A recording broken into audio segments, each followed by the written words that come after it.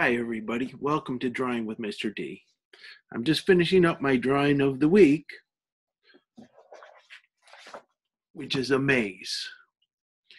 Drawing mazes looks really hard, but it's super easy if you know the trick, which I'm going to show you now.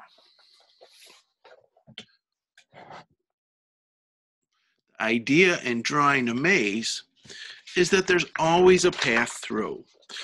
So when you're making your path, it doesn't really matter how complicated it is as long as there's two sides of the path that don't touch.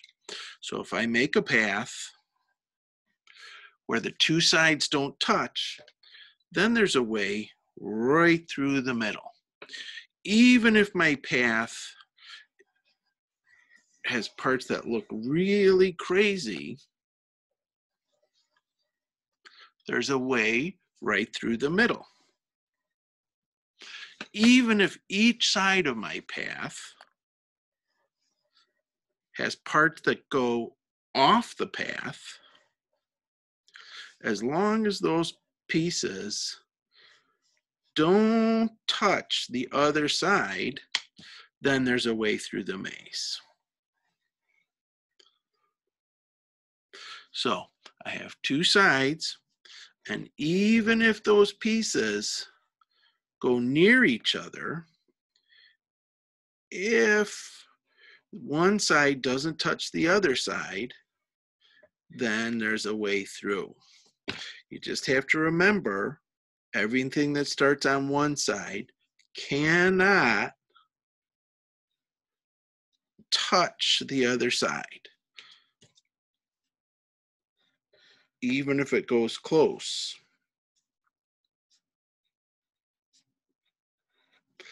And then there'll be a way through.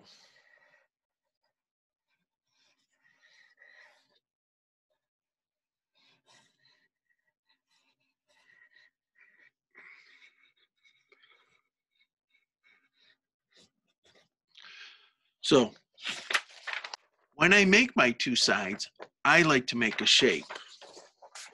So I'm going to do a new maze here. I'm going to have a, a pirate who's looking for a treasure. So I'm going to make two lines, but I'm going to make them in the shape of a boat, just like I made two lines in the shape of a cactus. So I have to have an opening. I'm going to have the start opening right by the pirate, and I'm going to come down and I'm going to make the bottom of the boat. I like to make my maze nice and big so that I have room to make a lot of lines. After I make that bottom line, I'm going to make the top line of my boat. I'm going to make a mast and a sail. I'm going to make the mast kind of big so I can get some maze lines through there. I'm going to make a little flag on the top of my sail. There we go. And then when I make the rest of the top of the boat here, I'm gonna leave an opening. So you can see when I do it in marker where I can make changes if I want. I think I'll make this part of the boat a little bigger. I have two lines. I have a bottom line of my boat, and it could be anything you wanted. It could be a car, it could be a dinosaur. So long as you have two sides, left and right, or top and bottom, then you can make a maze where the top line has pieces that don't connect to the bottom lines, and the bottom lines have pieces that don't connect to the top line. And that's how you make a maze. Here's my two line drawing, like that. So you can start at the pirate and end up at the mast and come down and get the treasure.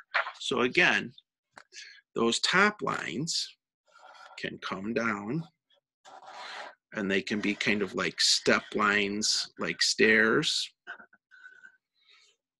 So as long as the top lines don't touch the bottom lines, they can wrap all around each other so here's some top lines. I have my bottom line go here and then maybe down here.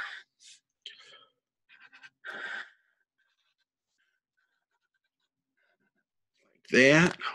Now I'm going to go ahead and go around one of my top lines with the bottom line, but they don't touch. See, they don't touch. So even if I have a bottom line and a top line that are close to each other, as long as they don't touch, then it's okay. Even if that top line or bottom line looks confusing, there's a simple way through.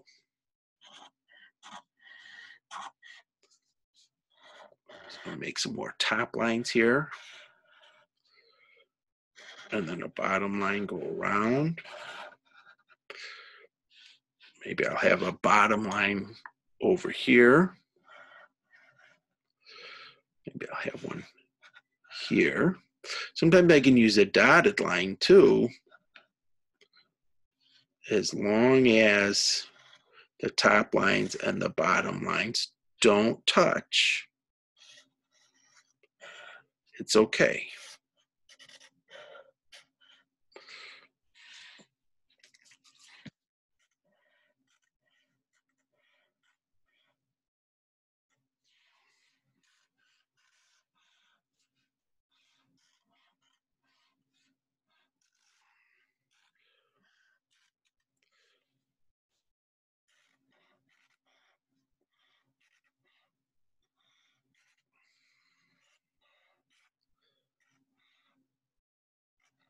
So there it is, top and bottom lines making a maze.